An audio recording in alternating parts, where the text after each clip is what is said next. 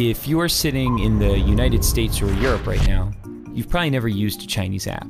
But the reality is, if you want to know how the internet will develop, China, the land once known for its cheap ripoffs, has actually become a guide to the future. You know, the internet is the internet, but for China, the internet is more like an intranet. It's largely walled off from the Western world by this incredibly complex system of filters and blocks that we call the Great Firewall. And basically, the Great Firewall blocks any foreign site the Communist Party doesn't think it can control.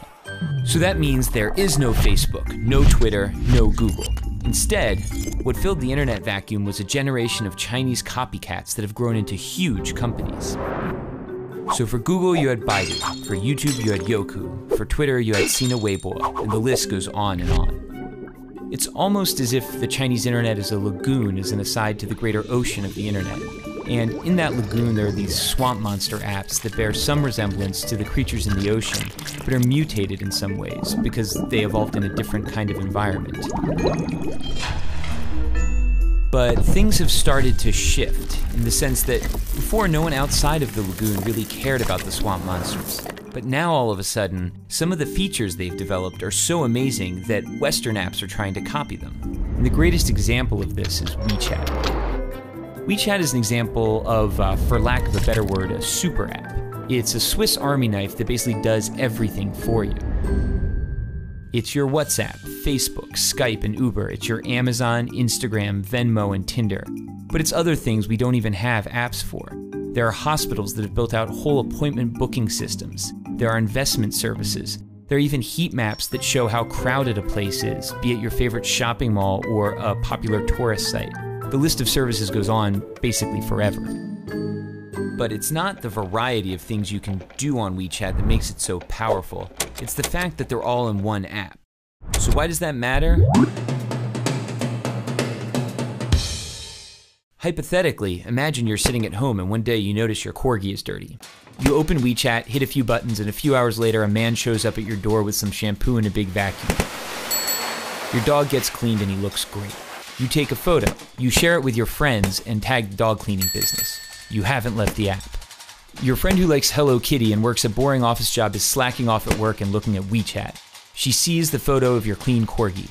She decides she wants her poodle clean. She clicks the tag on your photo and orders the same service. Within seconds, the man with the big vacuum is on his way to her house. She pays him, and he's happy because he got paid instantly on WeChat. She starts chatting with you to thank you. Neither of you have left the app.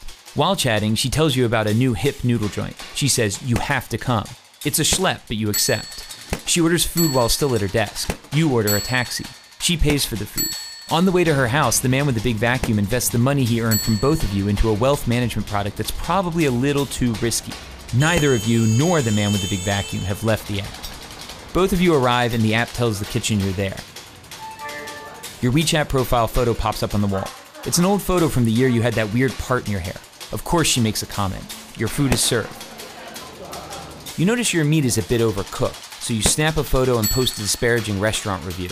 You're already on your phone and you remember you still owe your friend money because she paid. You transfer her money. Neither of you, the man with the big vacuum, nor the restaurant, have left the app. At the restaurant, there are no menus, there are no waiters, there is no cashier. There is only WeChat. By rolling so many functions into one single app, it's altered the concept of virality. It's no longer just videos or images or tweets that can go viral. It's a dog washer, noodles, all sorts of companies and products that get the push of a social network. Here in China, that network is 700 million people. Sounds great, right? Well, it is, but using a single app to find a date, schedule an oil change, or notarize a document also enables WeChat to collect a staggering volume of personal data. They know what you talk about, who you talk about it with, what you read, where you go, why you're going there, who's there, how you spend money when you're online, how you spend money when you're offline. The list goes on indefinitely.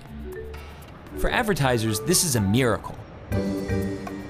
The combined data of Facebook, Amazon, Google, and PayPal, all in one place. The problem is, all of the data is information Chinese companies are forced to share with the Chinese government, which has a long record of human rights violations and isn't exactly shy about stalking its citizens. So if you're not in China, why does this matter?